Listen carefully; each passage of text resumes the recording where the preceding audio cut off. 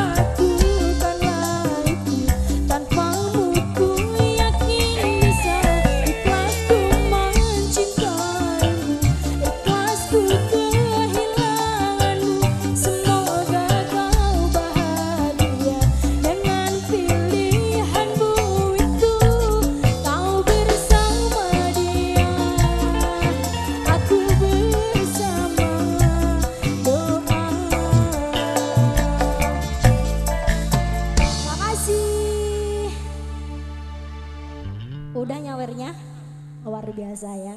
Rika Ini udah Aza. sangat Mas. Alhamdulillah Oke, rezeki. Oke, terima kasih banyak untuk Rika Aza. Dua tembang sudah untuk